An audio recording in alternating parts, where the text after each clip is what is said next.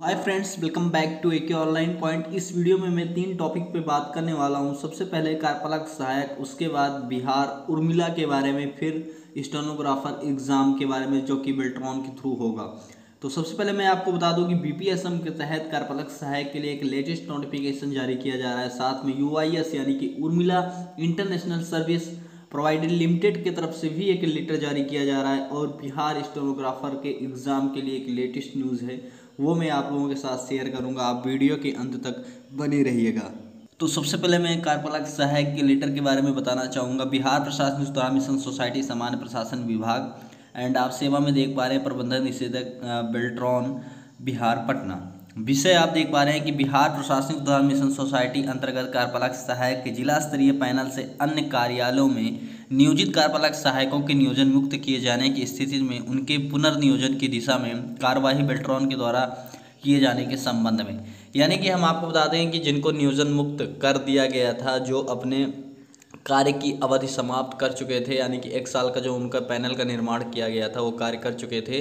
तो उनका पुनर्नियोजन किया जाएगा, यानी कि फिर से उनको नियोजित किया जाएगा और ऐसे कार्यपालक सहायक कैंडिडेट का नियोजन अब बेल्ट्रॉन करेगा। बेल्ट्रॉन अब उनकी दक्षता परीक्षा लेगा, जैसे कि इकतीस तारीख को पिछली स्कूल विस्टेंस की परीक्षा हुई थी। जी हाँ फ्रेंड्स, आप देख पा रहे हैं यहाँ पर साफ़ साफ़ बताया जा रहा है कि यहाँ पर दिया गया है बिहार प्रशासनिक सुधार मिशन सोसाइटी अंतर्गत कार्यपालक सहायक के जिला स्तरीय पैनल से अन्य कार्यपालक में नियोजित कार्यपालक सहायकों का नियोजन मुक्त किए जाने की स्थिति में उनके पुनर्नियोजन की दिशा कार्यवाही के क्रम में इन कार्यपालक सहायकों का दक्षता परीक्षा आयोजित किया जाएगा तथा सफल अभ्यर्थियों को बेल्ट्रॉन के पैनल में शामिल किया जाएगा और इस क्रम में इन अभ्यर्थियों को शैक्षणिक योग्यता में छूट भी दी जाएगी, क्योंकि ये पहले से कार्य कर चुके हैं डाटा एंट्री ऑपरेटर के पद पर। अतः अनुरोध है कि नियोजन मुक्त, यानी कि अनुशासनिक कारणों से नियोजन मुक्त कर्मियों को छोड़कर, यानी कि जिन्होंने क्या है कि कार्यपालक सहायक के नियम का पालन न करते हुए जो कार्य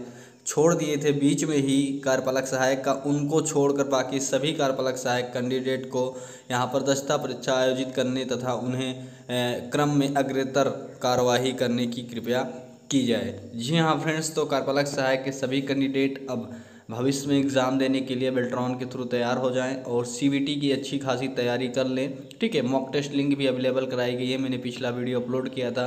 और डिस्क्रिप्शन में आपको बेल्ट्रॉन डाटा एंटी ऑपरेटर के प्रीवियस ईयर के क्वेश्चन पेपर भी मिल जाएँगे और जिन्हें आप डाउनलोड करके अच्छे से तैयारी कर सकते हैं और परीक्षा पास कर सकते हैं। अब हम यहाँ पर बात करेंगे उर्मिला के थ्रू जो लेटर निकाला जा रहा है।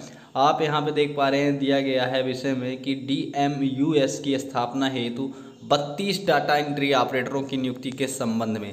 जी हाँ friends D M U S के स्थापना में बत्तीस डाटा एंट्री ऑपरेटर की नियुक्ति के संबंध में लेटर जारी किया जा रहा है। तो बत्तीस नए डाटा एंट्री ऑपरेटर को चयनित कर नियुक्ति हेतु सूची इस पत्र के साथ संलग्न कर भेजी जा रही है, ठीक है? और वो सूची कुछ इस तरह से है, जैसे कि आप यहाँ पर देख पा रहे हो तो इसमें बत्तीस डाटा एंट्री ऑपरेटर के नाम दिए गए हैं, ठीक है?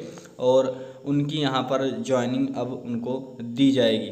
तो आप देख पा रहे हैं सारी चीज़ें यहाँ पर बताई गई है और यहाँ पर विषय एवं राज्य स्वास्थ्य समिति, पटना के ज्ञापांग इतना के द्वारा जो राज्य स्वास्थ्य समिति है, उनमें ये बत्तीस डाटा एंट्री ऑपरेटर की ज्वाइनिंग उर्मिला के थ्रू कराई जा रही है। उनतीस छः दो हज़ार इक्कीस का ये लेटर है, ठीक है? ये लेटर आप हमारे टेलीग्राम चैनल से डाउनलोड कर सकते हैं। अब हम बात कर लेते हैं बिहार स्टेनोग्राफर यानी कि बेल्ट्रॉन स्टेनोग्राफर एग्ज़ाम के बारे में।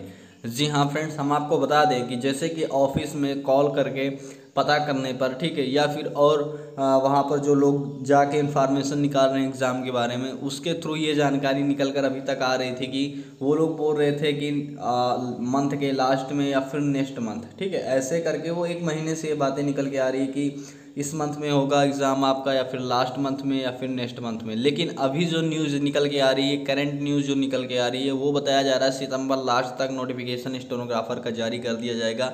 और आप लोगों का एग्ज़ाम लिया जा सकता है। तो इतना आप जान लीजिए कि इस बार आपका एग्ज़ाम स्टोनोग्राफर का लिया जाएगा और आप अच्छी खासी तैयारी करें। एग्ज़ाम आपका कभी भी लिया जा सकता है, कभी भी नोटिस पब्लिश की जा सकती है, ठीक है?